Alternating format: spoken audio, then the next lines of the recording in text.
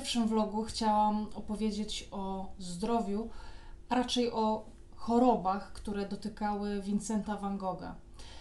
E, w całej swojej pasji do Vincenta van Gogha mm, staram się odczarować legendę, która krąży e, wokół, wokół jego osoby. E, I tak na przykład w tym temacie, tak, bardzo znana jest y, teoria, wielokrotnie słyszałam różne tego typu słowa, że był wariatem, szaleńcem, mm, pomyleńcem, schizofrenikiem y, i tak dalej, i tak dalej.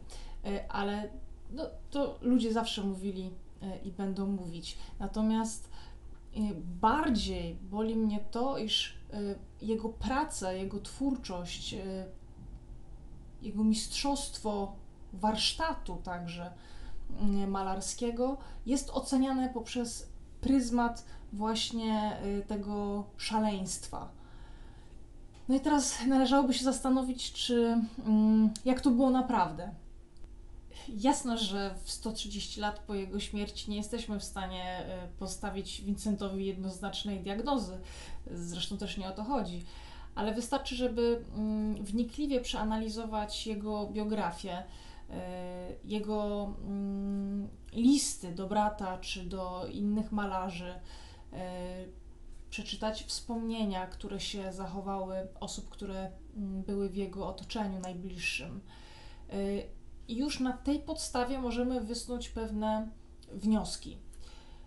W pierwszych słowach opracowania, które zostało dołączone do listów do brata, możemy przeczytać, że Vincent y, był y, obciążony epilepsją od strony y, matki. W zasadzie już to samo zdanie odczarowuje legendę, ponieważ nadal w tamtych czasach uważano, że epilepsja jest chorobą psychiczną, po prostu. To już w starożytności epilepsja była uważana za wielką chorobę czy świętą chorobę, ponieważ jak twierdził Platon, przyczyną padaczki jest uszkodzenie mm, mózgu, a z kolei mózg to była najbardziej boska część ciała. Vincent e, wprawdzie trafił do mm, zakładu dla psychicznie chorych, jednak e, z tego, co można wnioskować w listach do brata, nie trafił tam z przymusu, tylko z własnej woli. W samym tym szpitalu e, był też e, wielokrotnie badany. Opiekował się nim taki młody e, lekarz, dr Ray, i on sam stwierdził jednoznacznie u Vincenta mm, epilepsję, natomiast epilepsję latentną, czyli mentalną. Przeczytam dokładną teraz diagnozę, którą postawił dr Ray. Dr Ray sugerował epilepsję latentną epilepsję mentalną objawiającą się nagłym wstrzymaniem działania umysłu, paraliż myślenia, rozumowania, percepcji i emocji, przejawiający się wyłącznie w mózgu i często skutkujący dziwacznymi, dramatycznymi zachowaniami. Więc mm, kwestia epilepsji to jest jakby jedna kwestia. Druga kwestia, która moim zdaniem jest niepodważalna, to depresja po prostu. Vincent Mam kota o imieniu Vincent, ale to chyba nie powinno nikogo dziwić. Vincent jako dziecko e, też bardzo często dążył do e, samotności. E, kompletnie nie potrafił budować relacji z nikim.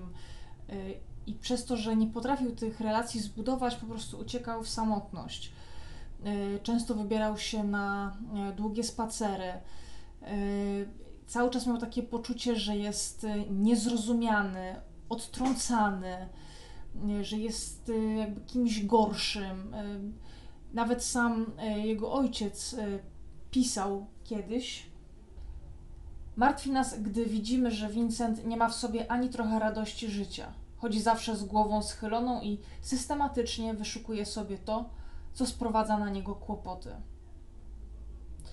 I w listach w ogóle do brata Vincent wielokrotnie pisze o tym, że, e, że jego kondycja psychiczna jest po prostu słaba. Myślałem, pozbyłem się iluzji. Myślałem, wierzyłem w wiele rzeczy, o których teraz wiem, jak mało w istocie są ważne.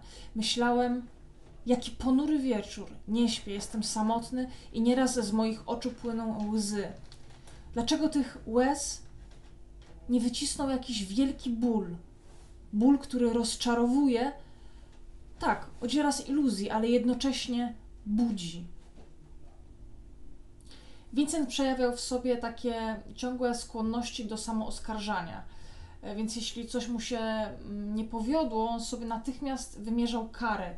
I to kary naprawdę e, bardzo, bardzo ciężkie, bo e, na przykład najpierw pił niezliczone ilości kawy, żeby nie móc zasnąć, a kiedy już miał powiedzmy te 3 godziny mm, snu, robiło mu się błogo, to postanowił, że na przykład będzie spał na jakiejś tam lasce, żeby mu było dodatkowo niewygodnie. Albo szedł e, spać do szopy. E, zimą bardzo często chodził bez e, kurtki czy płaszcza, po to tylko, żeby, mm, żeby było mu zimno, tak? Żeby to była jego kara, że musi mu być zimno. Vincent tak, tak strasznie nie chciał zawieść swoich najbliższych tak bardzo z jednej strony walczył o te relacje z rodziną, a z drugiej strony mm, jego charakter niewątpliwie nieznośny y, nie pozwalał po prostu tych relacji mu utrzymać.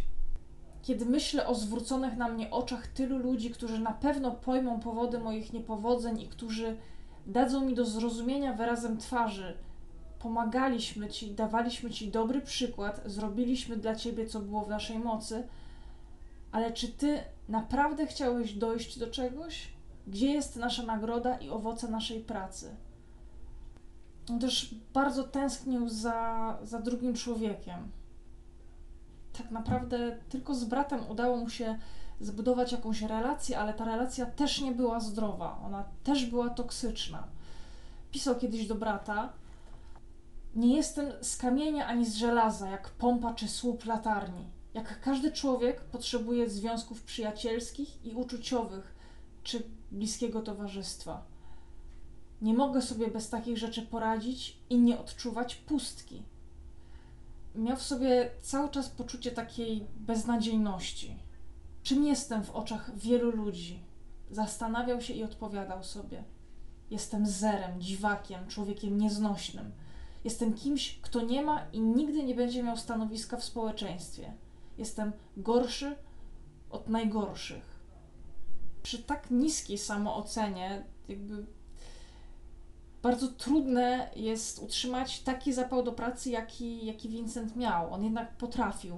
On jakby całą tę energię tej samotności, tej, tej, tej beznadziejności, bezradności yy, przekierowywał właśnie na pracę. Dlatego on tak dużo pracował, bo on uważał, że to jest jakby jedyny jego ratunek. Kiedy po raz pierwszy pojawiła się u niego jakaś taka myśl o samobójstwie, mm, on jednak bardzo to odpychał. Generalnie był wtedy wierzący i uważał, że samobójstwo to jest przejaw słabości.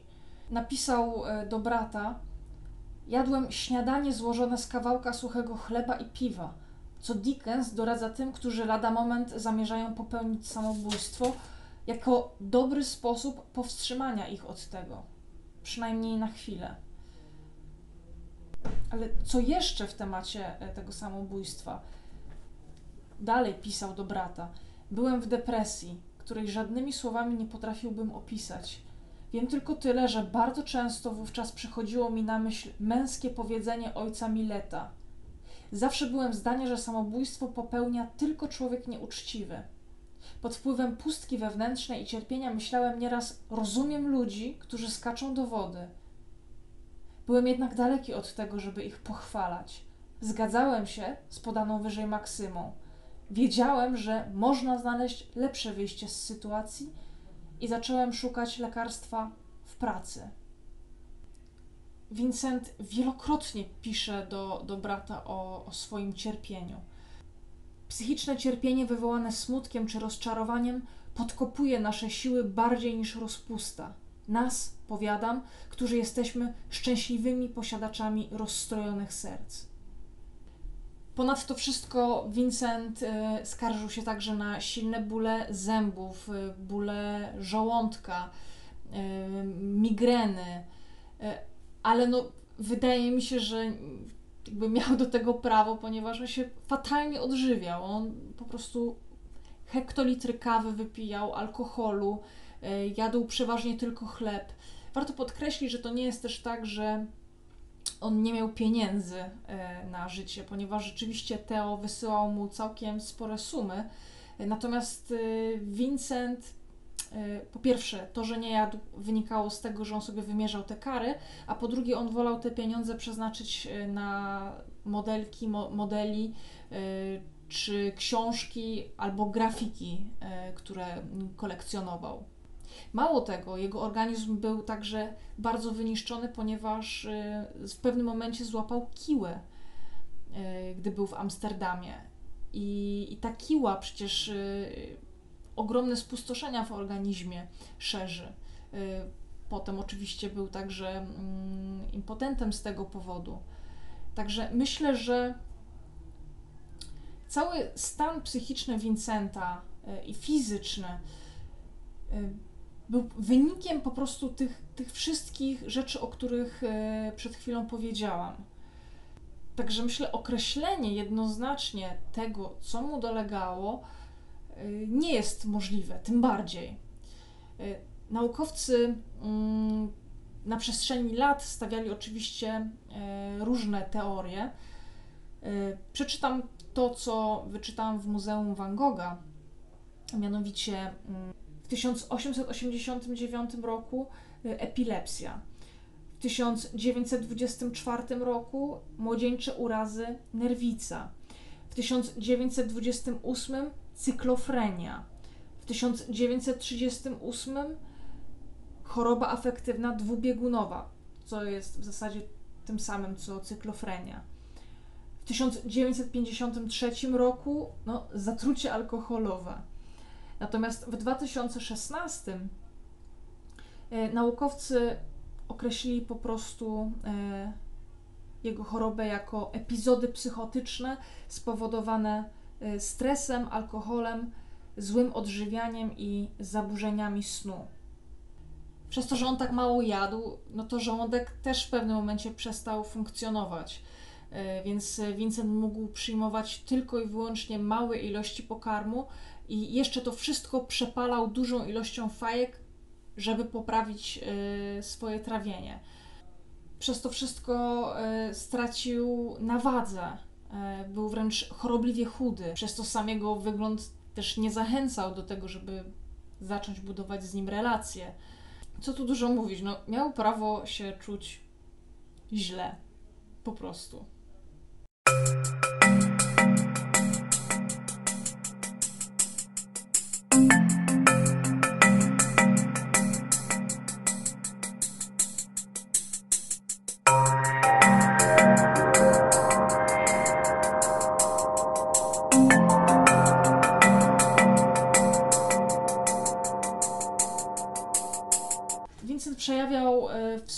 Mm, także skłonności do.